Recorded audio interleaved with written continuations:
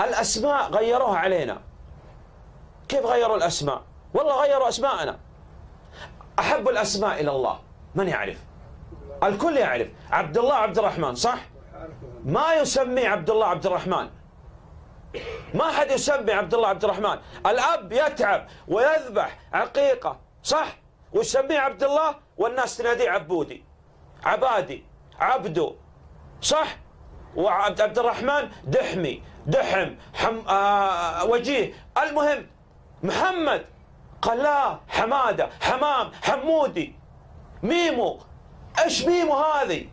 يا إخواننا اسم النبي صلى الله عليه وسلم ما ترتضيه؟ عبد الله عبد الرحمن ما ترتضيها؟ قال لا سميه عبد المطلب. لماذا؟ هل سمى النبي صلى الله عليه وسلم عبد المطلب؟ لا. هل أقر بهذه التسمية؟ لا.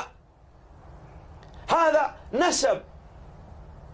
عرف بهذا النبي صلى الله عليه وسلم لا يستطيع أن يغير هذا. قال أنا النبي لا كذب أنا ابن عبد المطلب. لكن ما سمى أحد بهذا. ثم أنت الآن تختار بين اسم يحبه الله واسم مختلف فيه. تأخذ اسم يحبه الله سبحانه وتعالى. إذا لماذا ننادي بعض الأولاد الآن؟ حمودي وعبادي وعبودي وميمو وحمام.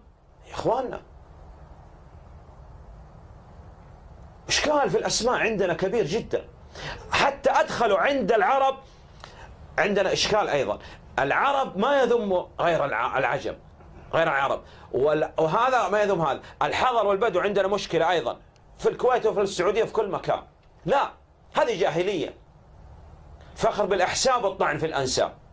إشكال أيضا. قال من قبيلة من؟ وكذا وانت حضري وانت بدوي. حتى بين إخواننا السلفيين ما يمكن يكون هذا. ممكن تعرف بنفسك لا إشكال.